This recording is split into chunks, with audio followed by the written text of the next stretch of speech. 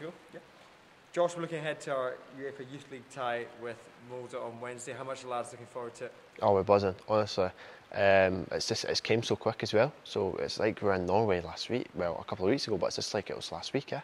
Uh, we're really looking forward to it. Hopefully, we get lots of fans there to support the boys. Uh, we're ready to go. We're ready to go for it and try and uh, try and get the win, especially Easter Road. It was such a big uh, such a big game for us. You know, it'd be brilliant to get a win for the fans as well. Mm-hmm. What have the last two weeks been like in between that game and, and, and then now? I know you had a, a game for the res- reserve team as well. Uh, how have the preparations been going? So we've had uh, we've had preparations, especially in training. We've been doing a lot of shape. We've been doing a, been a lot of training to get ready for this. We've had a couple of games where we've, we've worked on um, what we're going to do in the game and. Uh, hopefully what we're working on comes off and uh, hopefully come back come back with a win. Mm-hmm. Obviously the first leg was 1-0 defeat in Norway. How much did you learn from that game?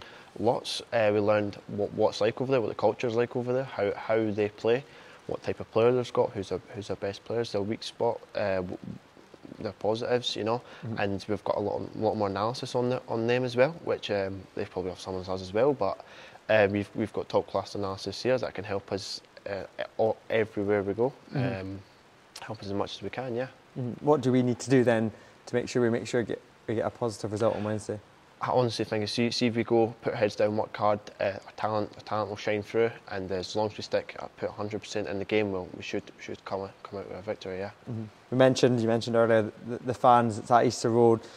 Expecting a couple of thousand there. How much will they make a difference? Well, if, if, young boys, yeah, they, they thrive on that sort of stuff. They thrive on attention, you know. Mm-hmm. Kind of, if, if, there's lots of people there, we'll love it. You know, it'll give us that 12 man. Just try try and get behind us as much as possible, and hopefully, if we need that little extra boost, the fans will there to be there to help us. And that's all the little helps, all the little things help the most. Yeah. Mm-hmm. There's something about this group of players. You've obviously played with them a while. The 2004s that, that, that's called you, and you've grown up uh-huh. together. How much has that kind of team chemistry help you both on and off the pitch? Yeah, so much. Well, I've been together with the boys for about eight, nine years, mm-hmm. so it's uh, it's been honestly crazy. Um, like we've we've always went up, went up together, always winning.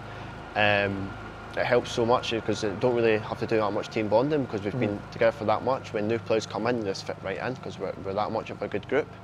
And obviously, it shows on the pitch as well that we've got that we've got that bond where we can just go and play and there's no there's no negatives in it at all. Mm-hmm. Appreciate your time, Josh. Good yeah. luck tomorrow. Thank you. Cheers.